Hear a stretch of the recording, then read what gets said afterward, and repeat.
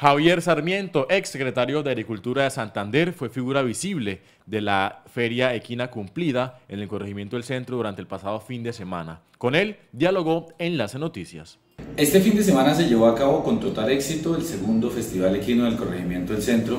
aquí en el distrito de Barranca Bermeja, un evento que reactivó la economía de este importante sector de la ciudad una iniciativa del sector privado por parte de los comerciantes de este corregimiento y de un grupo de caballistas que quisimos por segunda vez traerle a Barranca Bermeja un espectáculo que no se veía desde hace ocho años en la ciudad.